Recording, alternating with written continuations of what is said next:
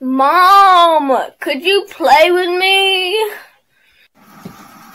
No, honey, you can't you see I'm very busy today? I have work at 3 and I'm trying to get all the chores done. Oh wait, isn't your friend George coming over today? No, he's at a baseball game with his dad. Well, what about Tom? No, he's at home sick and can't come over today. Well, why don't you just go outside and play with the animals and look at nature? Go on, have a good time.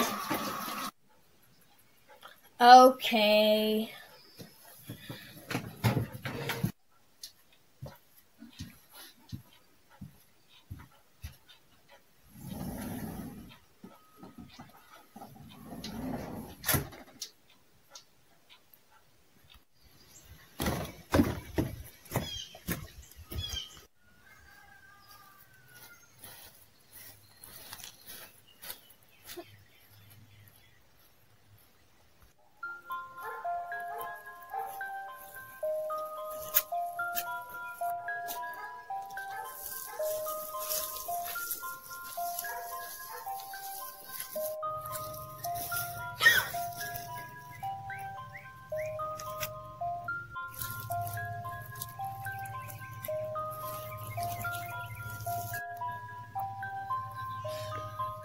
Who are you?